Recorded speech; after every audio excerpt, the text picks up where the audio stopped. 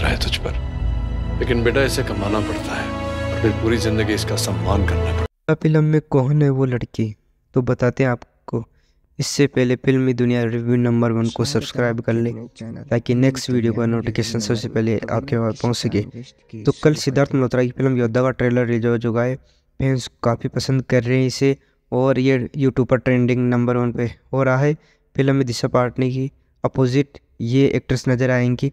Bollywood actress Siddharth Malhotra के पास इस समय कोई प्रोजेक्ट्स है। इस एक्टर की अपकमिंग फ़िल्म योद्धा का ट्रेलर रिलीज़ कर दिया गया है। ट्रेलर फैंस को काफ़ी पसंद आ रहा है। एक बार फिर शेरशाह के रूम में सिद्धार्थ मल्होत्रा योद्धा को लेकर आ रहे हैं। सिद्धार्थ मल्होत्रा फौजी के रोल को काफ़ी लोग पसंद कर रहे हैं, लेकिन इस फ़िल्म को सिद्धार्थ के करियर का टर्निंग पॉइंट माना जा रहा है। अब एक्टर फ़िल्म योद्धा में ऐसे रोल में नज़र आएँगे। फ़िल्म में उनके अपोजिट दिशा पटानी और राशि खन्ना भी है।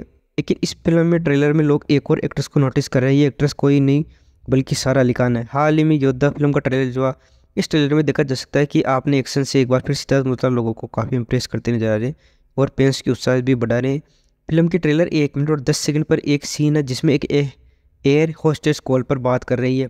उसका चेहरा पूरी तरह से ज़ाहिर नहीं हो पा रहा है, लेकिन साइड पेज दिख रहा है, लेकिन कई लोगों का ऐसा मानना है कि ये सारा अली खान है तो ये तो फ़िल्म देखने के बाद ही पता चलेगा। लेकिन लोगों के मुताबिक और फैंस के मुताबिक ये सारा अली खान है। मिलते हैं किसी नेक्स्ट वीडियो में। धन्यवाद।